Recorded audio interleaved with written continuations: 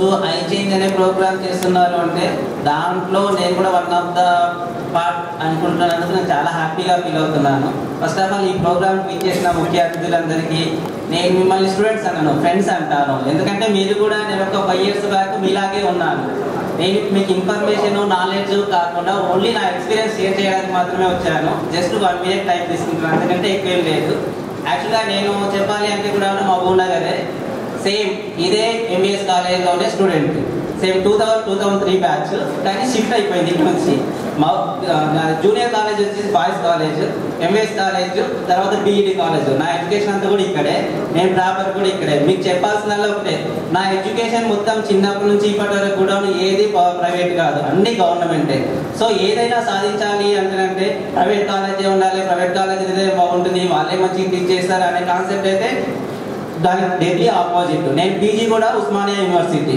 ఏం చేసినా కూడా గవర్నమెంట్ చేసుకుంటూ ఉండేసి అలానే ఉన్నాను. మీకు ఓన్లీ నేను నా ఎక్స్పీరియన్స్ చెప్పడానికి రీజన్ ఏంటంటే ఏదో నాకు స్టేజ్ దొరికింది అలా చెప్పాలని కాదు. జస్ట్ షేర్ చేయడానికి మాత్రమే మీ ముందుకు వచ్చాను నేను పీజీ చేస్తున్నప్పుడు కూడా హోమ్ ట్యూషన్ చెప్పేవాడిని హైదరాబాద్లో ఎయిటీన్ హండ్రెడ్ నాకు వచ్చేది. ఆ ఎయిటీన్ హండ్రెడ్ తోటే మొత్తం నా వన్ మంత్ ఎక్స్పెండిచర్ మొత్తము సరిపోయేది including room rent everything just ఒక టెన్ ఇయర్స్ బ్యాక్ నా పొజిషన్ అది. ఇప్పుడు నాకు ఈ- పొజిషన్ వచ్చిందంటే నేను కొంచెం కష్టపడ్డాను. మీరు కూడా ఎవరైనా సరే ఏదైనా సరే మనం సాధించాలి అనే దృక్పథం ఉంటేనంటే డెఫినెట్గా సాధించగలము. మేము పూర్ ఫ్యామిలీ నుంచి వచ్చాను. నా యాక్చువల్ ఇంకా ఎడ్యుకేషన్ మొత్తం చెప్పాలి అంటే నేను vocational student MBS college boys కాలేజ్లో వొకేషనల్ స్టూడెంట్ వొకేషనల్ నుంచి మళ్ళీ ఇక పాలిటెక్నిక్ చేసి అటు వెళ్దాం అనుకున్నాను. పాలిటెక్నిక్లో నాకు ఫ్రీ సీట్ సెల్ఫ్ ఫైనాన్స్ కింద లెవెన్ థౌసండ్ వచ్చింది.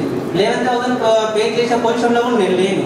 సో మళ్ళీ నేను గవర్నమెంట్ మళ్ళీ ఎంబీఎస్ కాలేజ్కి వచ్చేసి ఎంపీసీఎస్ జాయిన్ అయ్యాను అది అప్పుడు కూడా మా కౌన్సిలింగ్ బేస్డ్ ఉండేది. ఎంబీఎస్ కాలేజ్లో కూడా. మార్క్స్ లిస్ట్ పెట్టేసి షార్ట్ లిస్ట్ చేసేవారు. సో అందులో వచ్చింది అని చెప్పి దాంట్లో జాయిన్ అయ్యాను. దాని తర్వాత బీఈడి చేశాను. బీఈడి నుంచి మళ్ళీ ఎంఎస్సీ ఎంఎస్సీ తర్వాత నేను సాఫ్ట్వేర్కి వెళ్ళాను. సాఫ్ట్వేర్ నుంచి మళ్ళీ బ్యాంక్ వచ్చిన బ్యాంక్ బ్యాంక్లోకి వచ్చాను. అంటే నా కెరీర్ కూడాను నాకు కూడా ఒక స్థిరమైన గోల్ అంటూ లేకుండింది. ఎందుకంటే నేను పెరిగిన విధానం అలాంటిది నాకు అలా ఉన్నాయి సోర్సెస్ కూడా ఏమీ లేకుండా ఉన్నాయి. కానీ దేంట్లో చేస్తున్నా కూడాను నేను ఫుల్ ఎఫర్ట్స్ అయితే పెట్టాను. సో దాని ప్రకారం నేను ఎప్పుడు ఎక్కడ ఫీల్ అయ్యాను ఎప్పుడు కూడాను చదువు చదువుకుంటున్నాను పీజీ అయిపోయిన వెంటనే మళ్ళీ సాఫ్ట్వేర్ జాబ్ సాఫ్ట్వేర్ అయిపోయిన వెంటనే బ్యాంకింగ్ జాబ్ వచ్చేస్తుంది. సో ఏదైనా కానీ మనం కష్టపడితేనంటే ఖచ్చితంగా ఫలితం అయితే ఉంటుంది. శ్రీనివాస్ సార్ చెప్పారు ట్వంటీ ఇయర్స్ కష్టపడిన తర్వాత ఎయిట్ ఇయర్స్ సుఖపడాలా? లేకపోతే ట్వంటీ ఇయర్స్ సుఖపడిన తర్వాత ఎయిట్ ఇయర్స్ కష్టపడాలా? అని. ఖచ్చితంగా మనం ట్వంటీ ఇయర్స్ చేయాల్సిన అవసరం లేదు. మీరు ఏదైతే చేస్తున్నారో మీరు కొంచెం మీ కెరీర్ గురించి ఒక వన్ అవర్ తీసుకుంటే చాలు. ఇంకా చెప్పాలంటే ఇప్పుడు సోషల్ మీడియా వచ్చిన తర్వాత ఫేస్బుక్ వాట్సాప్ దీనికి ఏ టైం అయితే కేటాయిస్తున్నామో మీరు దానికి పూర్తిగా వదిలేయాలని చెప్పాను నేను.